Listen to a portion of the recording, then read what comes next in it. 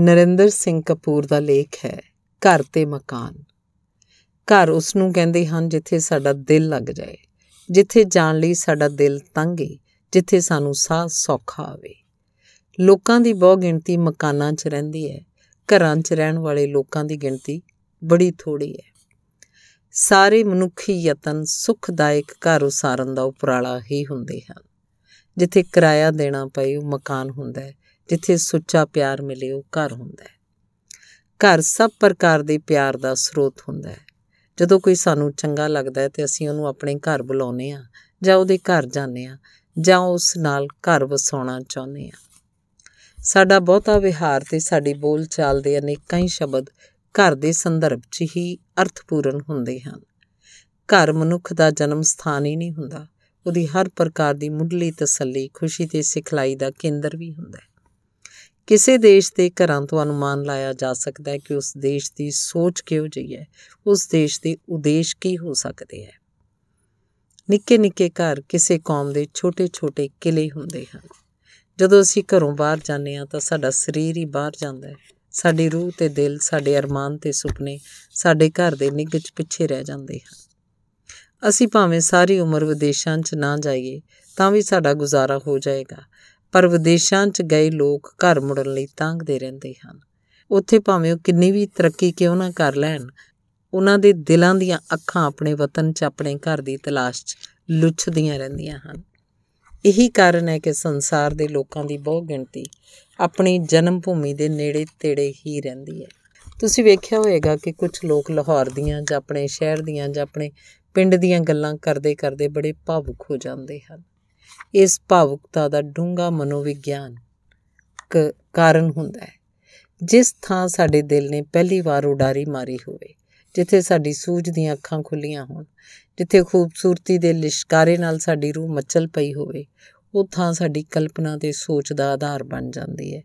ਅਸੀਂ ਮੁੜ ਘਿੜ ਕੇ ਇਸ ਥਾਂ ਵਾਪਸ ਆ ਜਾਂਦੇ ਹਾਂ। ਇਹਨਾਂ ਘੜੀਆਂ 'ਚ ਅਸੀਂ ਆਪਣੇ ਮਨ 'ਚ ਘਰ ਦੇ ਨਿੱਘ ਤੇ ਸੁੱਖ ਦਾ ਪਹਿਲਾ ਤਸੱਵਰ ਉਸਾਰਦੇ ਹਾਂ।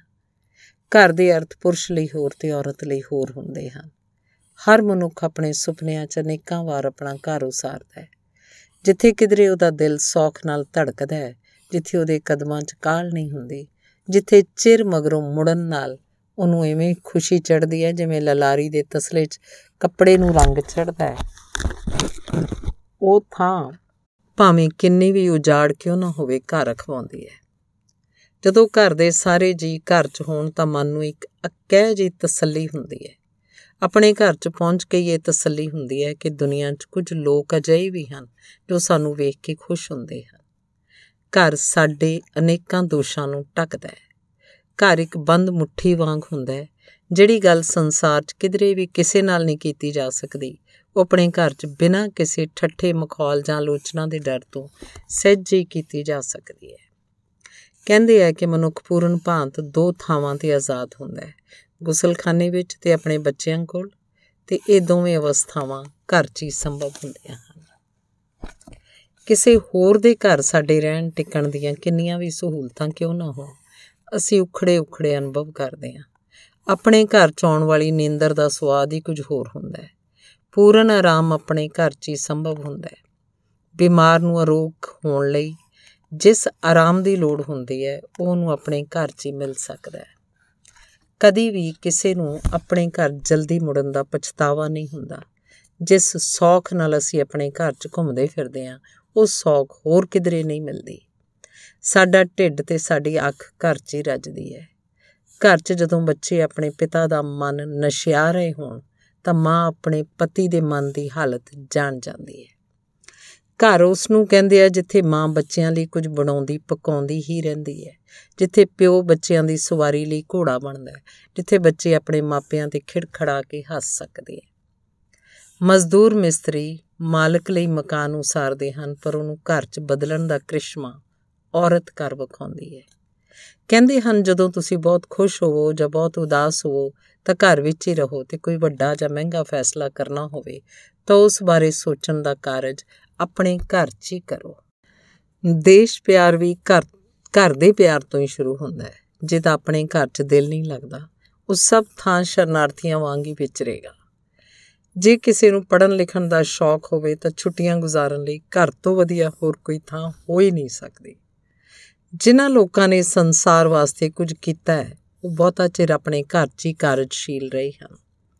ਜਿਨ੍ਹਾਂ ਨੇ ਦੁਨੀਆ ਗਾਹੀ ਹੈ ਉਹਨਾਂ ਨੇ ਵੀ ਸਿਫਤ ਘਰ ਦੀ ਹੀ ਕੀਤੀ ਹੈ।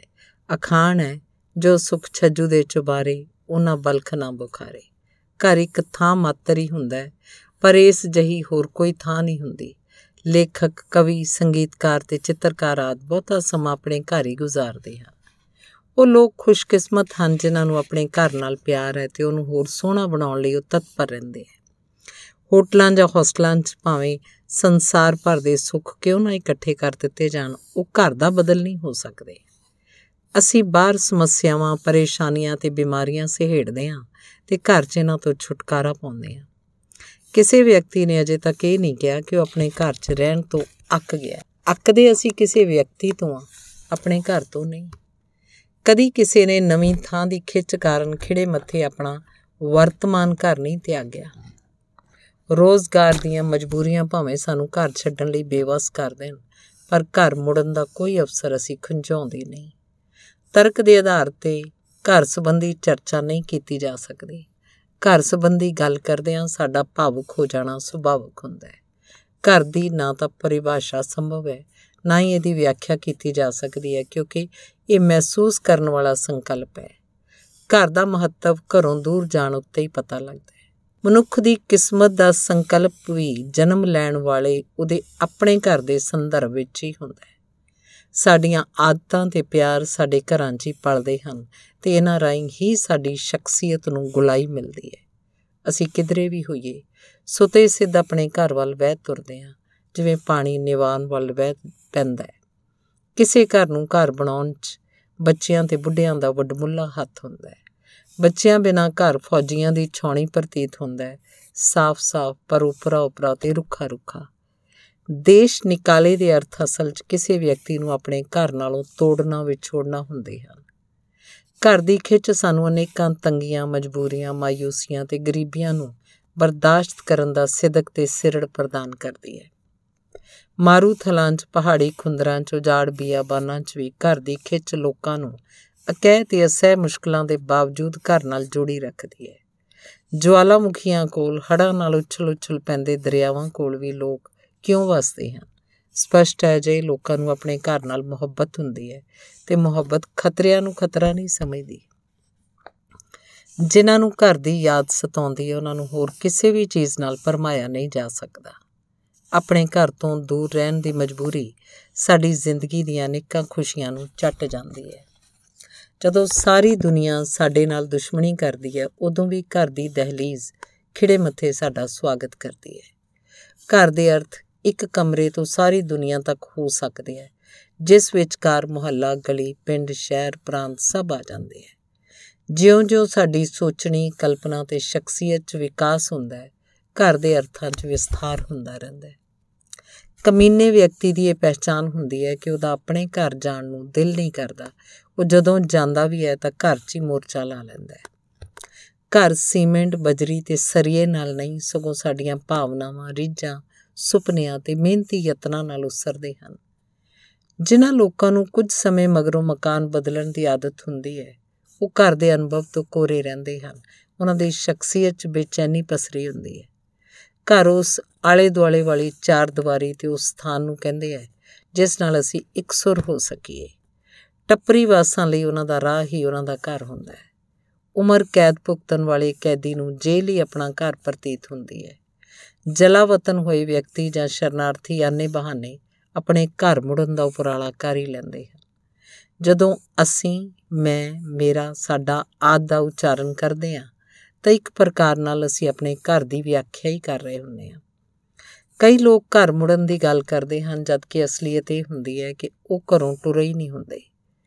ਘਰ ਉਸ ਥਾਂ ਨੂੰ ਕਹਿੰਦੇ ਆ ਜਿੱਥੇ ਜੋ ਵੀ ਕੋਈ ਆਉਂਦਾ ਹੈ, ਉਹਨੂੰ ਸਨਮਾਨ ਤੇ ਕੁਝ ਨਾ ਕੁਝ ਖਾਣ ਪੀਣ ਲਈ ਪ੍ਰਾਪਤ ਹੁੰਦਾ ਹੈ।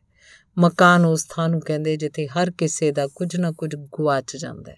ਤੁਸੀਂ ਆਪ ਸੋਚੋ, ਤੁਸੀਂ ਮਕਾਨ 'ਚ ਰਹਿੰਦੇ ਹੋ ਕਿ ਘਰ 'ਚ?